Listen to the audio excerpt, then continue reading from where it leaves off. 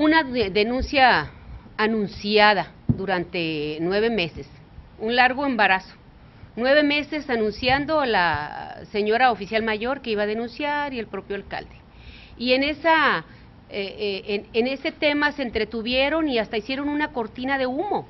Era el pretexto para tapar su mal desempeño y su ausencia en el gobierno. Ahora ya está hecha la denuncia, qué bueno que ya está hecha, que ya está en las instancias jurisdiccionales.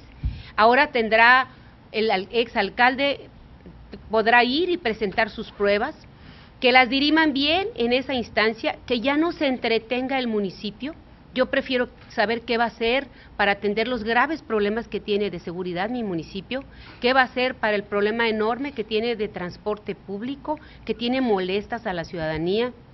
En todo hay una ausencia y un y una ceguera del alcalde que prefiere esconderse y quedar la cara, ya no hay pretexto, que deje este tema en las instancias jurídicas que corresponden y a las instancias jurídicas yo nada más le solicito, con todo respeto, que de ninguna manera politice este tema, ¿sí? que no se convierta en esas instancias en instrumento político, que haga lo que tiene que hacer.